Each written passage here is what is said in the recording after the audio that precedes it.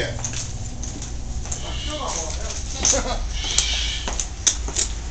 You ought to hear me walking down the, walking down the, uh, the mall with this shit on. You think I'm, I better be walking by a girl. You go to the mall with that shit on? Fuck yeah, he I, does. I have. You walk through the mall with those shoes on. Hell yeah.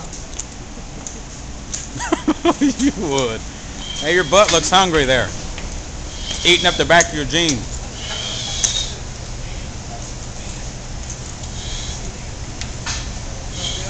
That's uh, some, some sort of a tape recorder. Yeah, some sort of something.